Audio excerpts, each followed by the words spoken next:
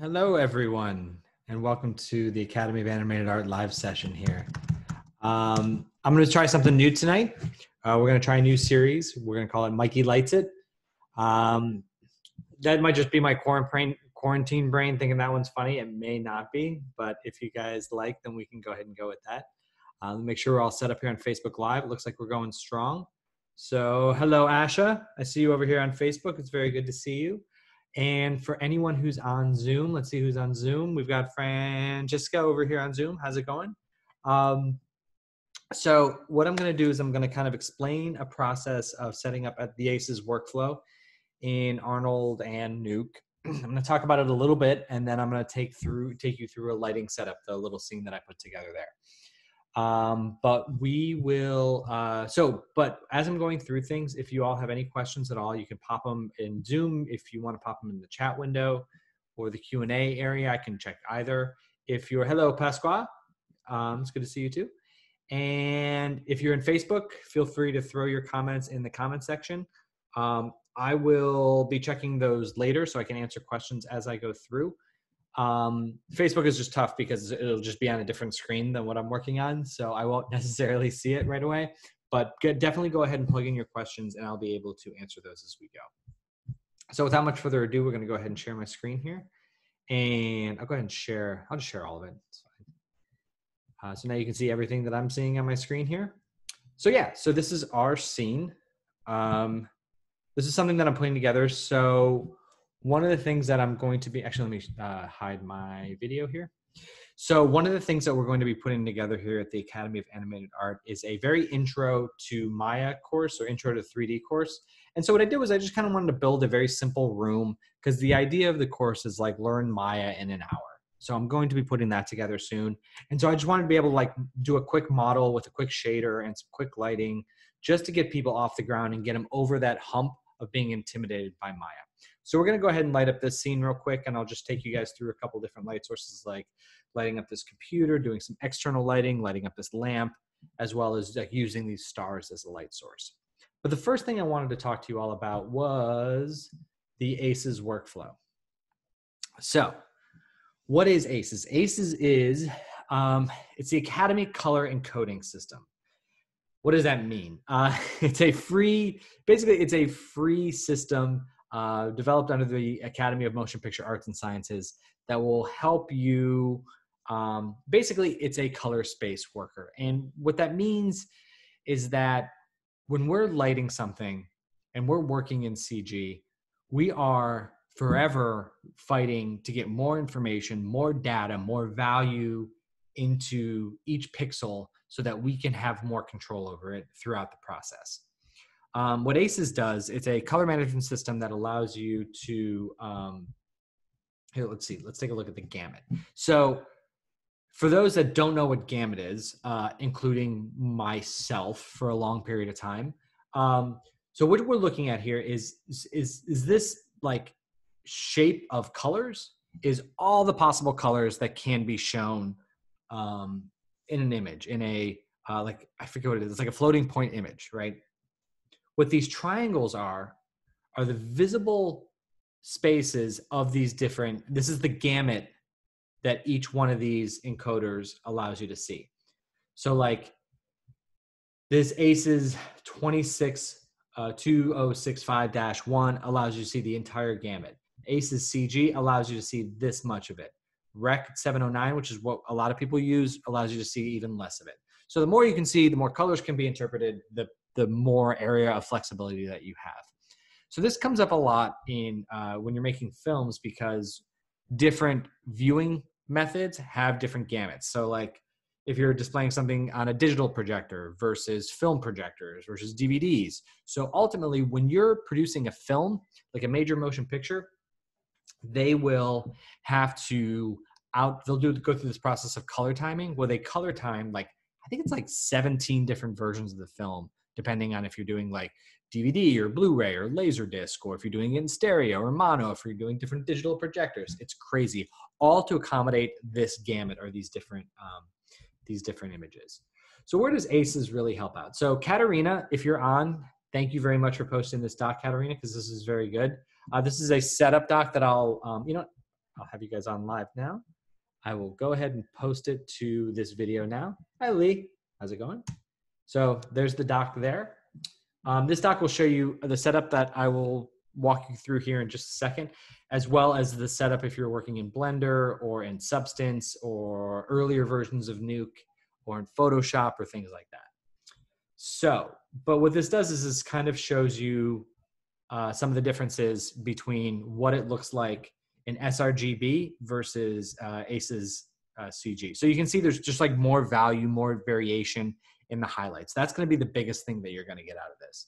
Um, because if you take an sRGB image and like you really pump a lot of sunlight in there, as you would in a scene like this, you guys remember the scene. You have access to this through the our asset library. This is um, uh, Jeremy Vickery and uh, oh man, Matthias Teo, I think was his name was. Um, yeah, really beautiful scene, great stuff. You can find it in our asset library. Um, and what it is is like you're pushing a lot of sunlight in there. It's bouncing up and around. Um, if you take this sRGB image and you try and tone it down in Nuke, all these values will be kind of crushed, especially in here. So everything will just be like flattened out as one. And then as you pull it down, it'll just kind of gray out. Where this has a lot more uh, value in it. And when you pull it down, they'll maintain some variation. So let me uh, show you how to do that. And then I'll give you a disclaimer at the end. So the biggest thing that you want to do, and this Arnold workflow, it does it sets this up really well. Um, the first thing that you want to do is you want to go to the GitHub page. Let me go back to this. So I can open this in a new tab so I can, so slow. So you uh, just want to open this in a new tab here. So this is the GitHub page. Um, you can go and download, as long as you're logged in, you can download the, all the ACES stuff. Uh, it's just a file that you want to just throw somewhere on your computer, and then you can go into your Maya scene. Uh, you go into your settings and preferences, and you go into plugin manager. Oh wait, nope, that's not true. That's wrong. Windows, settings and preferences. You go into your preferences. And then you go down here to color management. And from there, you're going to want to check the U, uh, use OCIO color or uh, configuration. And then you're going to want to put your path to that ACES file. I, I, I chose the uh, this 1.0, 1.0.3 uh, config from your file. You just go and you select it here. And then what you want to do is you want to make sure that your rendering space is in the CG, that you're, that you're viewing it in sRGB ACES, and then um, you have a choice down here to either, and it explains this in the doc why you would choose one or the other, but you have a choice down here of whether you want to set this up as the OCIO standard or your default. I just left it as the default. Um, if you set it up as a standard, you can you can go in and do some customization. I chose to keep things as simple as possible, so I did not do that. And that's basically it. So Arnold will pick up those changes. Um, and then in in this doc as well, um, I haven't gotten to that, but in this doc as well, it'll talk you through setting up a, a regular expression to uh, help with where's that at? Um, to help with anything that's a normal map. So uh, that's a that's a pretty handy little one as well, um, so that you don't put that in the wrong filter. The one thing I will say when I was testing this out is that if you're rendering anything with a texture map and you've already generated a TX map, like if you're in Arnold, you, you generate those TX files. Um, you'll want to, del- I, I, I found that you'll want to delete those and then recreate those with ACES because if they were already created using an old color space, they won't be accurate when you do it again. Um, and then as far as Nuke goes, it was it was really super easy. So all you know, if, if I'm over here in my file, um, all I have to do is hit the S key to open up my uh, project settings, and then what you want to do is go into your color tab and under management, you want to switch it from nuke to OCIO. Um, and then you want to make sure that it, this, whatever ACES version you're using, again, 1.0.3 uh, matches that. And then you can change, like I just left my working space again, the scene linear of the ACES CG. Uh, my monitor's sRGB. I could go, yeah, within ACES. So that's that's what my monitor is. I just have a little MacBook here.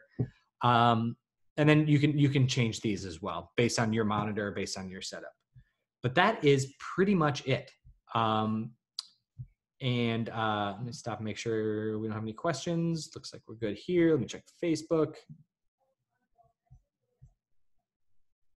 Are you downloading all the files on that link or just the OCIO? I was downloading all of them.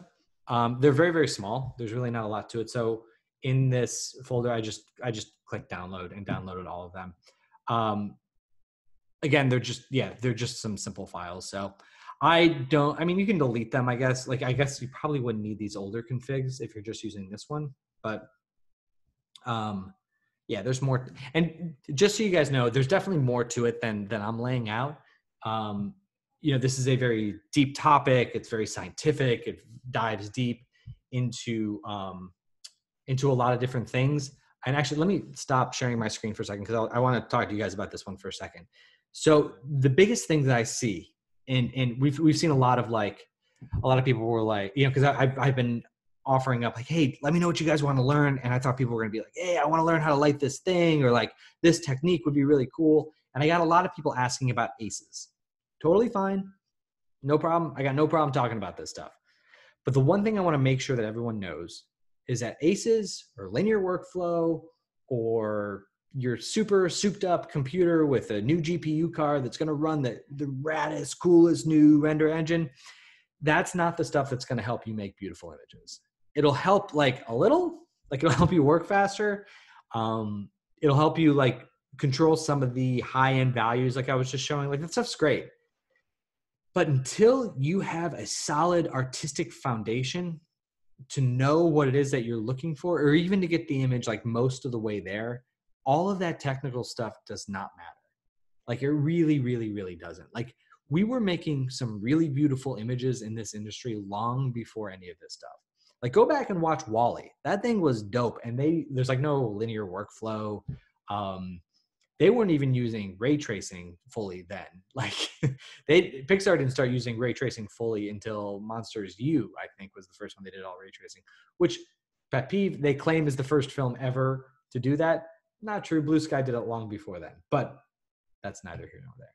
Okay, but my point being is that it's so easy to get wrapped up because you read these forums and these articles and you're like, yeah, man, this thing is like super cool. It's going to change the way that we work. And, and, and yeah, sure, whatever. Like it, it'll, it'll certainly helps, like I said, but it's not the thing that's going to get you a job. It's not going to be the thing that m- makes uh, it's it feels when we talk when Jasmine and I talk about like, hey, watch out for people who like look out for that make pretty button. ACES is like the the thing today that's like, oh, if I just get that workflow set up, everything will be cool.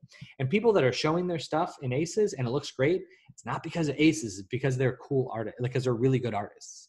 So that's that's that's my rant. Um, and so I just want to make sure to hop on over here, see if there's any other questions before I move on to actually lighting it. All right, cool. So that's a quick and dirty ACES setup from somebody who doesn't like doing that stuff. um, okay, let me go ahead and share my screen. We'll get into lighting a little bit, the thing that I do like to do. Um, Okay, show this. I'm going to stop my video so you can see the whole screen. Okay, so we've got this scene and we've got a camera set up here that's just kind of looking down on it. So I just wanted to make like a little miniature set. I never intended this to look like a big um, film studio. Like it was never meant to feel life size. So that's why I set the camera up a little higher. I gave it a little bit of a telephoto uh, look to it, so it felt like we were kind of zoomed in on it. Um, there wasn't really too much of an opportunity for me to give too much depth of field here, but you can kind of see it. Um, and I'm going to keep my, uh, I'm going to keep the, slide this over here. Oh.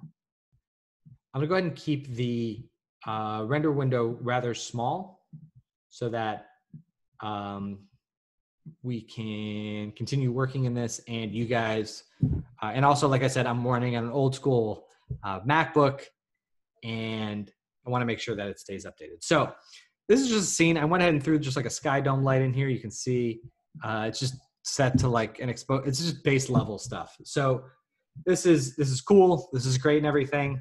Um, but this isn't gonna. This isn't great lighting. So the first thing that I wanted to do, because again, there's no ceiling, no roof on this thing, and you guys are gonna run into a situation like this occasionally. Is like how do you get light into these windows that simulates like a sky dome that we have but but this isn't the way a sky dome would look in a room it's just kind of going everywhere all the time so the first thing that i would do is i would go ahead Actually, I'm going to keep that open. Is I'm going to go ahead and create a portal light. So what a portal light does, for anyone that doesn't know, is so here's the sky dome. You can see it's just kind of everywhere, shining all over everything.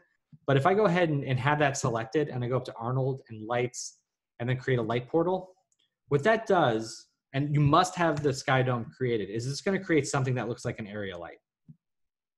Now, what is this light? Is this an area light? No, this is taking that sky dome light and minimizing it down to just one um just like one little area so like flip this around 180 so if i wanted this to just shine in through these windows i would just take this and zero this right in here. And what this does is this condenses well you can do like i mean you could make this an area light but what this does is this condenses all of the um, samples that normally would be going everywhere in this uh, in this scene, and it centers them down to just outside that window. There. In fact, let me go ahead and turn this off. So the sky dome, it's just like a one in the camera. We're gonna go and make that zero. So now you can kind of see this light coming through here. So now I can take this portal light and see.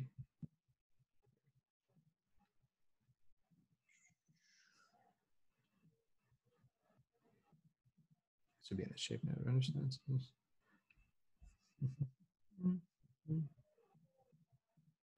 So we can also do this. We can also go in the um, light manager here in Arnold, and we can take this and we can take a look at the intensity, and we can jack up the exposure if we want. And now you can see that it's really feeling like lights shining in through this window, these windows, as opposed to um, coming in from uh, like kind of everywhere. So that's a really good technique to do on something like that. And it also really helps um, because it'll it maintains that look of the overall sky. Because oftentimes what we'll see is like super sharp shadows in here if you're doing like a smaller area light or something like that. But what we're missing is like this kind of softness, this kind of just feeling that there's light everywhere, but kind of zeroing in on this one area. Now, if I wanted to take this around here and let's say, um, actually, let's let's take this back here, and we'll keep this as just like just like a fill light. So we won't want it to be too too high. And we're going to go ahead and open up this door.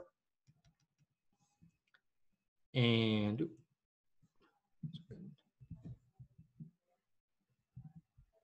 and we're going to let light pour in there. We're going to say like the key light's kind of pouring in there. Man, keep doing that. There we go. Let's open up the door and we'll open it just a little bit.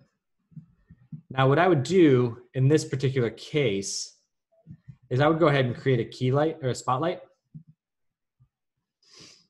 And now I know that everyone doesn't like to work this way, but I like to look through the light and then position this around where I want it to go.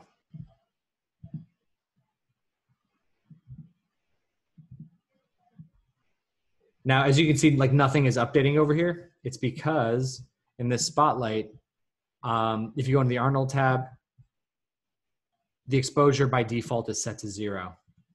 Um, and you want to just kind of crank that up. And then you're going to want to start to kind of tone that in just a little bit there. Now you can see this is like looking pretty super sharp there and that's not something that we want to see or like because we want it to be a little bit softer than that. So we want to go ahead and open up this radius a little bit.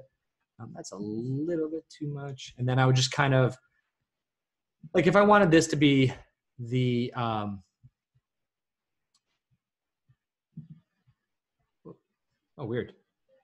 No thank you. Just go ahead and open up the color picker please. So i'm going to set the sky dome to be a little bit cooler and then i'll have that light coming in the side to be a little bit warmer. Weird Give me just a second there. That's kind of freaking out here. Gives me a chance to look over, see if there's anyone any questions. Can I have two portal lights on a single sky dome? You know what? That's a good question. I don't believe so. I don't think you can. I think in my in my previous tests of something like that, I don't think you can. Let's try it again. See if I can create Arnold. lights, light portal. You know, it looks like it works actually. You know, let's go ahead and make a second portal light for this instead of this one. See if that works.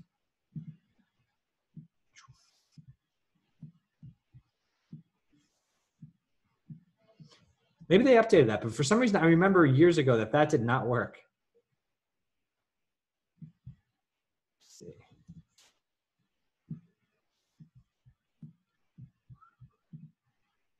Let's go ahead and check out the light manager here. You know what? Portal. Huh. It may have broken it. Broken it. Breaking it. Broke broke it. Broke it. This doesn't seem to be working as much anymore. I'm not seeing it here in the light list. So I'm wondering. Hmm.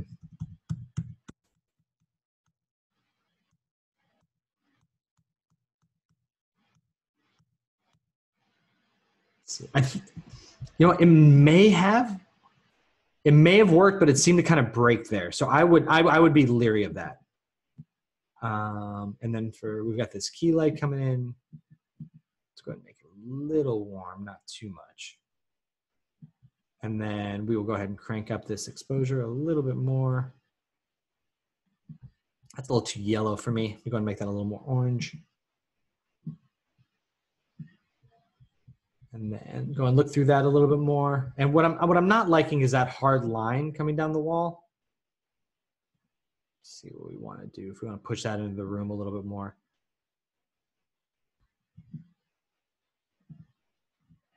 Yeah, that's looking a little bit better. And then for this light, we're going to go ahead and make this a little bit cooler.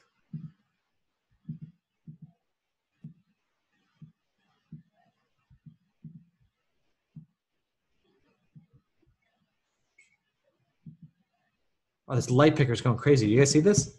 I'm like selecting it and it's jumping to the other side. Huh. Wait, wacky. All right, we'll leave that as is for now. But that's basically going to be my setup for if I want some like light coming in this way and then uh, some additional skylight coming in there. What I want to do now is, oh, looks like I'm crashing. Yay. All right, so we'll go ahead and wait for that to crash out. Yay. Yeah, no, it doesn't it doesn't seem to really want to do it. So give this a second to fire up Maya again. Uh, yeah, it doesn't it doesn't seem to to want to doesn't seem to like that very much at all. So do you guys have any other questions before I relaunch this? Oh yeah, that crashed. Let's see if this works to open this one.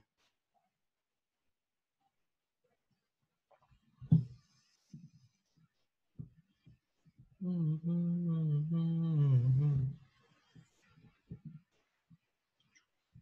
All right, seems to have worked to open this back up. Did it though? Did it? So let this pinwheel go.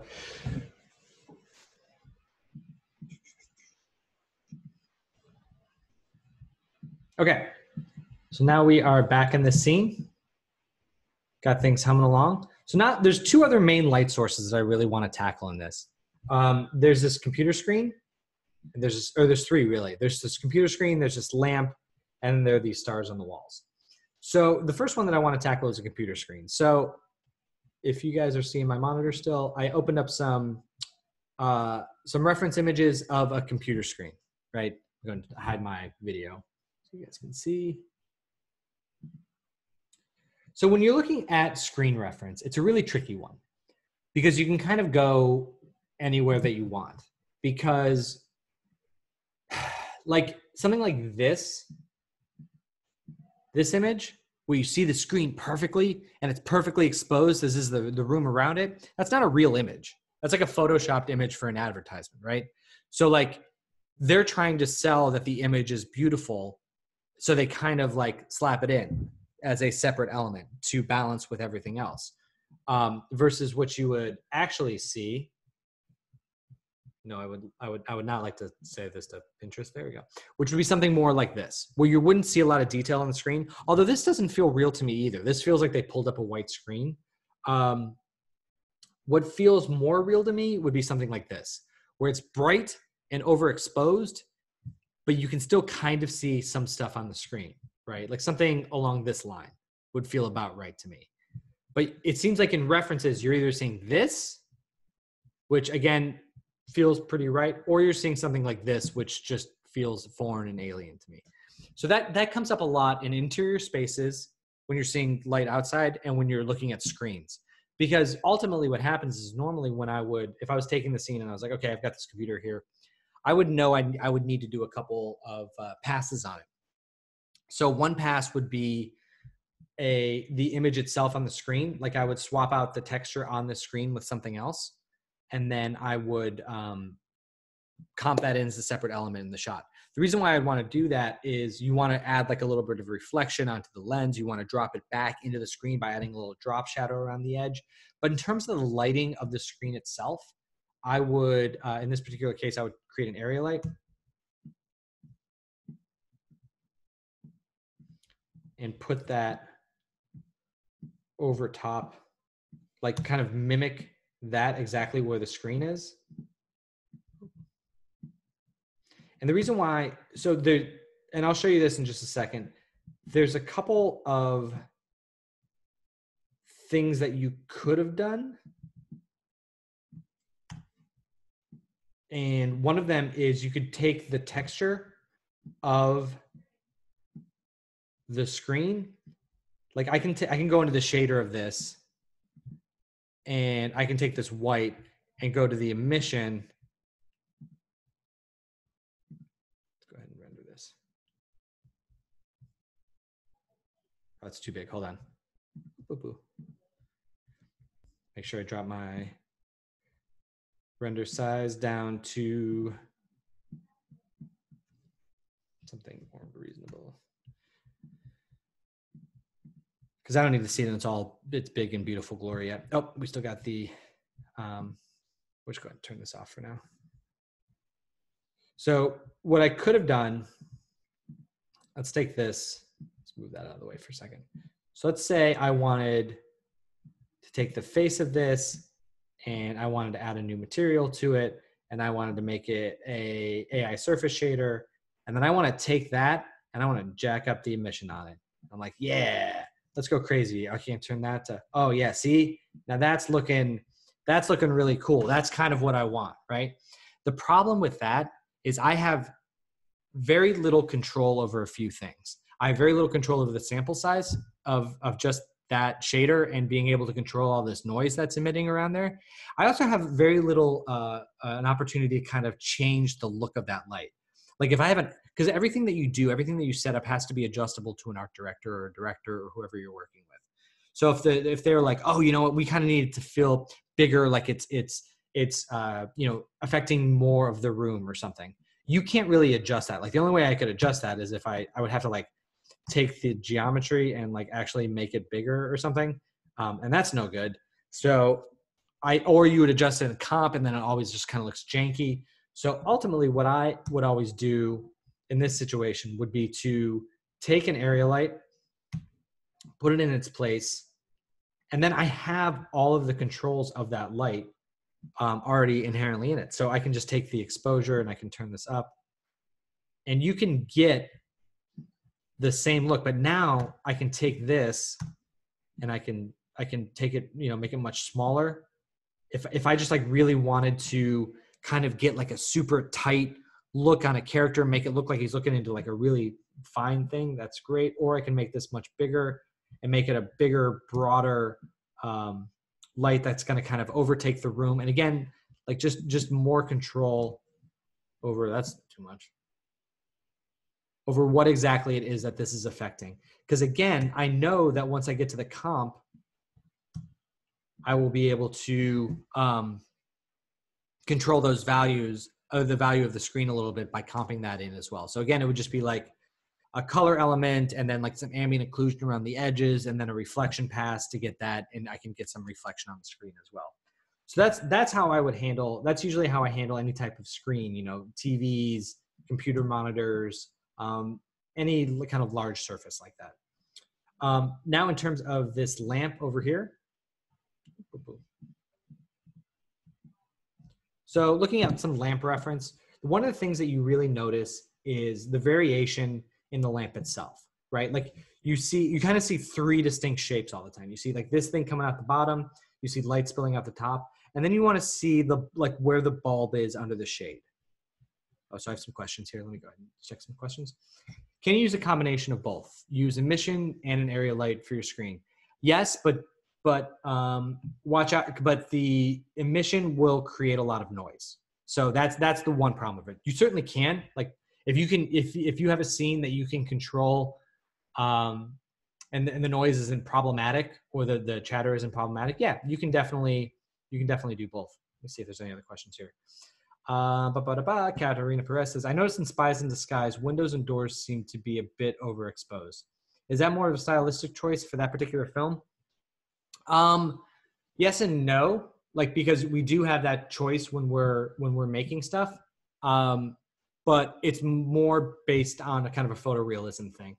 So if you think about camera exposures, um, so our eye, the human eye, is incredible, right? We have the ability to see um, we have the ability to our eye can adjust things very very very quickly right? Like we can look inside a space and look inside a room and have our eye adjusted for that and then uh, uh, immediately look outside and have our eye reformat and see what's outside. Cameras especially still cameras and film cameras don't have that capability. They have to either choose. Do you want to be like properly exposed to the interior or do you want to be properly exposed to the exterior? And depending on what's going on in the interior of the room.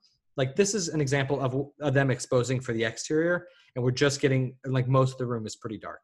So in reality if we're exposing for the interior space this outside space is just going to get blown to all heck. Um, and anytime that you see something like this um, you're this isn't this is more uh, shot with so what, what you end up doing in interior photography if you're trying to show off a space is you'll shoot the room with like eight different exposures and then you kind of piece them together. So this exterior space is a different exposure than the interior. Same thing with something like this here.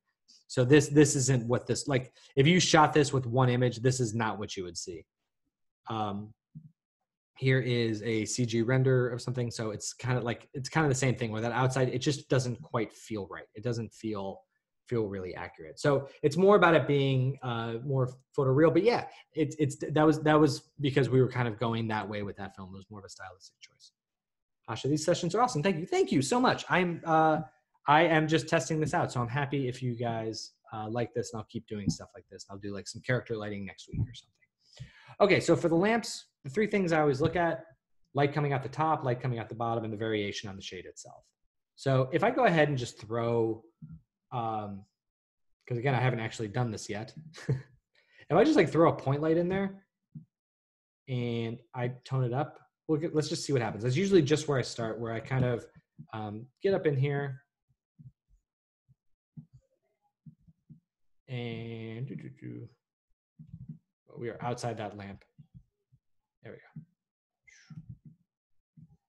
I'm doing an excellent job placing this. I don't know if you guys have noticed that. I'm very, very good at this. I am a professional. There we go. so let's say, you know, you can see uh, my modeling skills also awesome. I just kind of left that hanging there. So I'm just gonna like put it, like mock up where the light bulb would be in there. I don't, you know, if I wanted to go crazy, I could do the actual geometry in there. Um, but you know, I think I think we're good to fake it. That feels a little bit high. So it's gonna drop that down.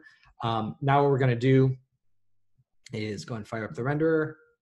Um, again, it's black because that is what happens when you use a Light and Arnold because the exposure is set to zero. You got to flip down this tab.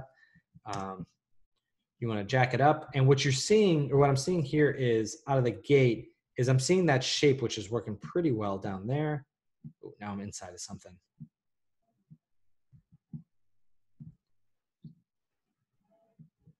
And that's actually like, that's working pretty well down here. Now I'm seeing this shadow from this, and that's not great. And overall, uh, it's just a little bit super harsh. Oop, go back to it. And of course, when I'm lighting, I would not just say this name. I would call this light bulb lamp or something that is much better. so we've got places back in there. So what we're seeing is like these harsh lines, right? And harsh lines is like I you never want to see that. Because like if you're going back to a reference, like there are no hard lines in any of this stuff. Maybe this here, but that's because the bulb is exposed and it's very, very close to the wall. But all of these shapes, super soft. And maybe that one, because again, bare bulb close to the wall. But what I want is I want to kind of soften that up a little bit. So we always want to uh, check the radius of the light. Whoa, that's too big. So now when I'm starting to see stuff like this, this is the radius of the light is now penetrating the lamp itself. Okay, that's more what we want.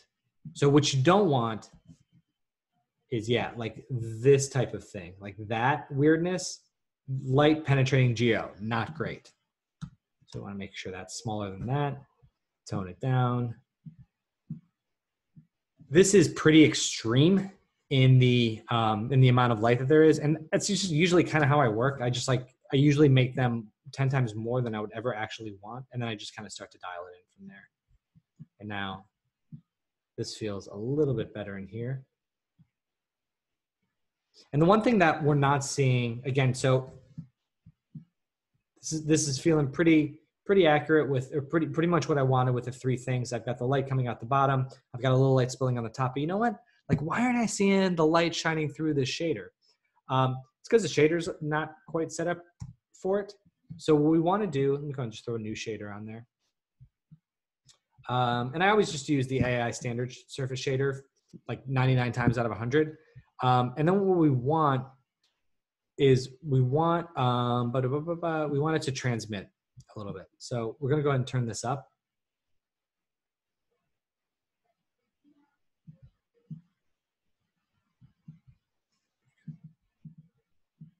And go and start to play around with this. Now, see.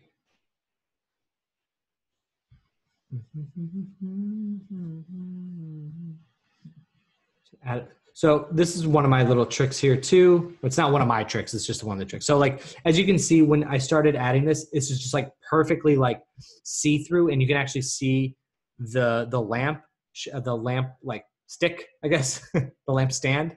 Um, and you don't really see that in any of these because this surface is, is super diffused. Um, and so what I want to do is I just kind of want to rough it up a little bit. So I add a little bit of extra roughness. Um, and now what we're seeing is, and again, this isn't like super highly detailed. Uh, this isn't super crazy. Again, this is just like a simple cone. If I was doing this as like a photo real thing, what I would what I'd want to do next is put in some of these like um, you can see some texture in the lampshade here. You can see the lampshade texture there. You can also see where the wire frames are on some of these. So I would put those in. But for the purpose of, of this like kind of abstract scene, uh, this is feeling this is feeling pretty good. So I feel like that would be about right. Um, and then let me go ahead and let's do something else. You know, let's, I'm to try one scene. I'm, I'm going to add this to the next light that I'm going to do, um, which is, uh, which is actually the stars in the wall here. So we'll, we'll leave that as is for right now. We'll see how these play together. So we got these lights on the wall. I'm sorry, these stars on the wall. Um, and I was thinking it would be kind of cool if in our scene, go back to our perspective here. Render camera.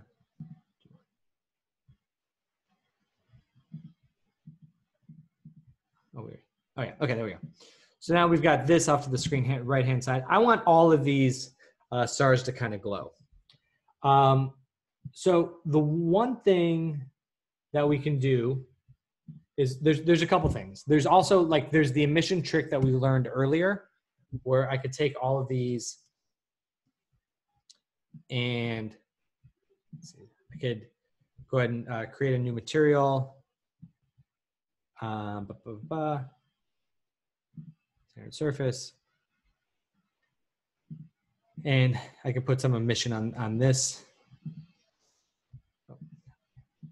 Oh, I've got a silly thing with my computer where every time I open the color picker, it gives me that pop-up window now. I don't know what that is. It's wacky. um, you know, you can you can jack this up, um, and then I would take that. see, I'd, I'd apply this existing shader, which is that, and then I would select all of them, say that, and now they all would be like this glowing light based on the shader. But like as we know, there's the emission problem that we were having before, and so this can work if the if the stars are like you know kind of glowing up a little bit. Like if they're just like a normal because emission's not like inherently bad right? Like if, if we just want them to be like glow in the dark and we just want them to be a little bit kind of glowy um, that's totally fine but if i wanted to uh, let's let's say i wanted to make most of them a little bit kind of like a neon green glowy let's see if this will allow me to do man my computer is really unhappy with um, with this color picker tonight. Let's make it like that.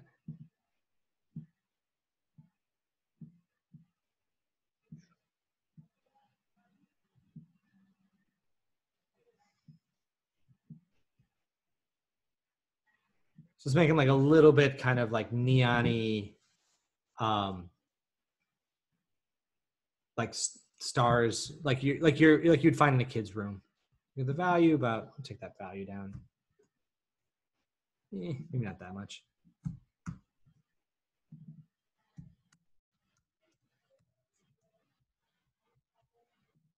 Take that, and then you know we'll actually lower this to 0.2.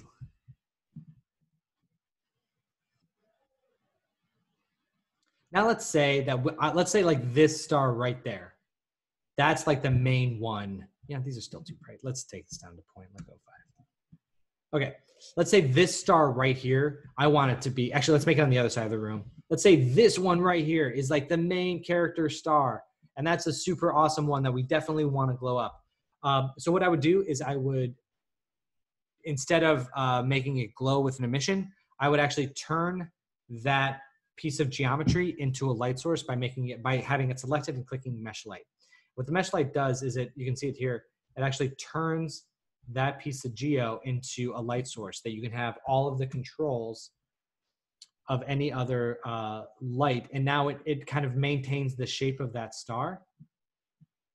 And now I can add a little bit of like, and I can see like, oh man, look at those super harsh shadows. Not great, not great at all. But what I can do is I can, can I increase the radius of this a little bit? I guess I would have to, oh, I guess that's kind of a thing. So I guess that makes sense, right? Like you want it to, to be um, the same size of the actual object. So in order to make that, I would have to make it bigger. Oh, that's not, not great. So I guess what I would do in that scenario is I would set it up as, I would kind of mock it up a little bit. I would make this what I would need it to be to make the star itself look right and then I would create. You know, you can create like a point light that's right there that doesn't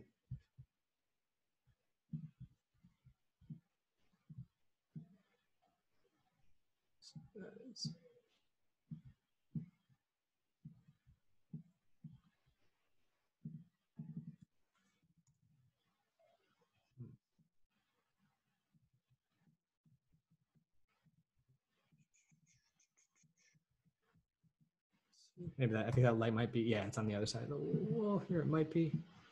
There we go. Yeah, see, that's why I was like, I was like, I wonder why I can't see it. Oof. It's because it is on the other side of the wall. Now I would be able to start to kind of control this a little bit more as the main light source. And then I can take this radius and increase it a little bit to get some more softening. And just kind of mock it up so it's not like it's not as technically sound. And then what I would do, hmm, this is where it gets a little tricky. I would probably take this and then not light link it to to just some of those, yeah, to allow that star to kind of glow up a little bit.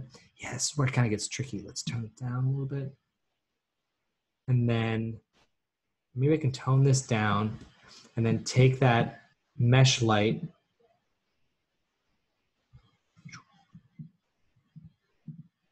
and tone that back up. And then we can get a good combination of the two.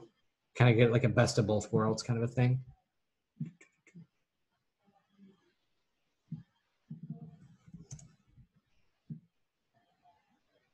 There we go.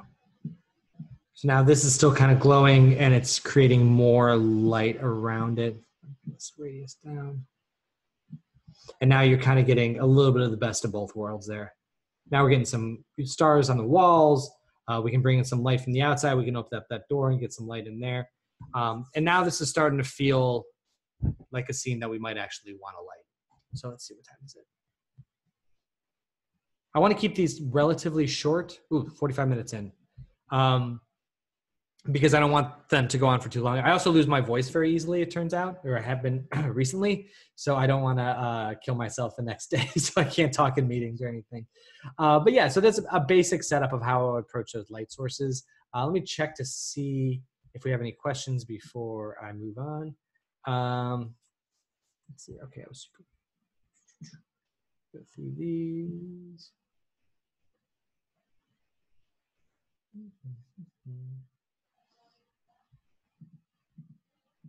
Few more.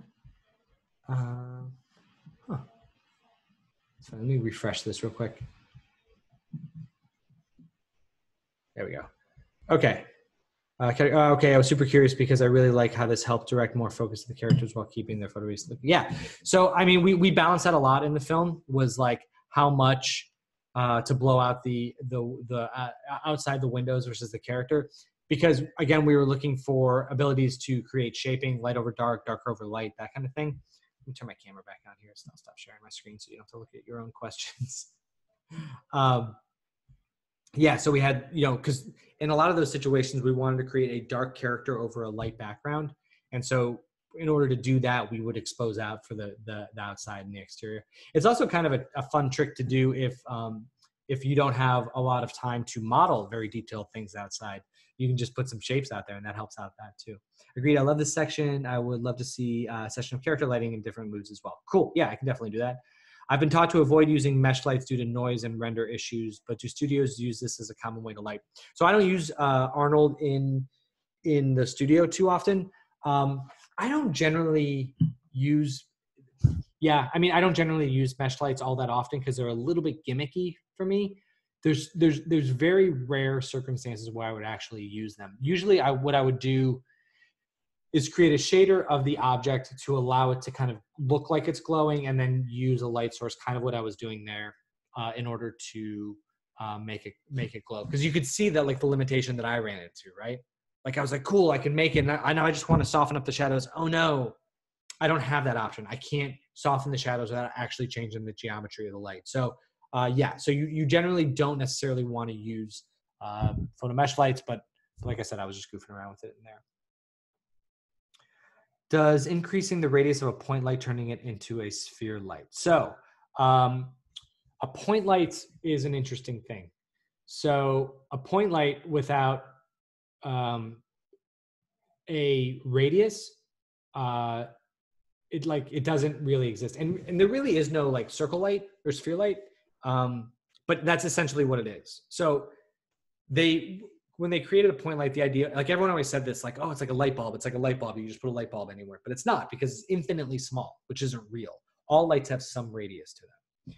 Um, so yeah, so if, if you want to think about it as a sphere that emits light, that's totally what it is. Um, it's just a matter of how big and how small you make that sphere.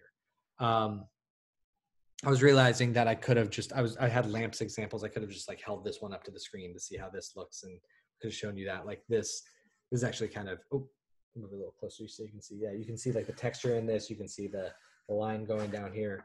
Um, you can also see like the the brushed metal, the texture. That you can see the reflection up in here, which would be like this would be the killer for me because that would mean I would actually need to go in there and actually model stuff so you can see it in the reflections there.